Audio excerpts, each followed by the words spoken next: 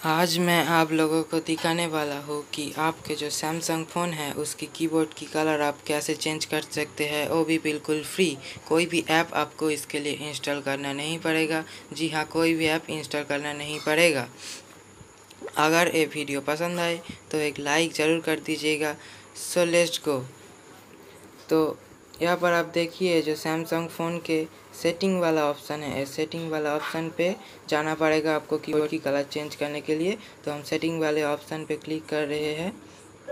Click करने के बाद यहाँ पर देखिए स्क्रॉल डाउन करके थोड़ी सी नीचे आइए एंड यहाँ पर देखिए कि एक एसेसिबिलिटी नाम का ऑप्शन है। एसेसिबिलिटी नाम के ऑप्शन पे आप ज़रा क्लिक कर दीजिए।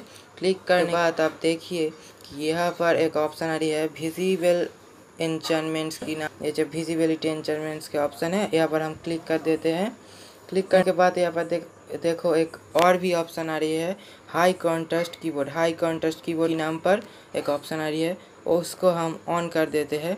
ऑन करने के बाद इस पर हाई कॉन्ट्रास्ट कीबोर्ड पे फिर से एक बार क्लिक करते हैं कलर चूज़ करने के लिए।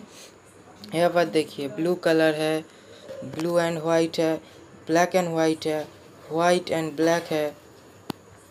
येलो एंड ब्लैक है।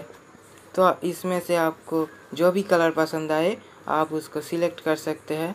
तो मैं ए वाला कलर सिलेक्ट करता हूँ ए वाले मुझे थोड़ा पसंद आए।